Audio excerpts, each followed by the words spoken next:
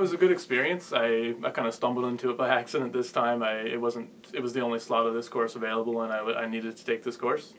Um, but I, I, I say I have to say that I enjoyed the experience. Um, if I had another chance to do it again, I certainly would because it kind of it, it frees up half of the, the class time that I can do whenever I want, and that allows me to work to uh, to to do my homework on my own time, to you know get a job off campus,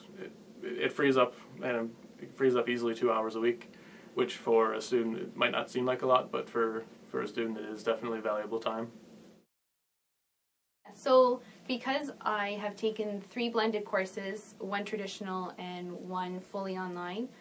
um, I would definitely choose a blended course over any of the other two because you have the best of both worlds. You have the online session with the convenience and flexibility to complete uh, the assignments at your own time and but then you also have the face-to-face sessions where you get that social interaction and you get to know your peers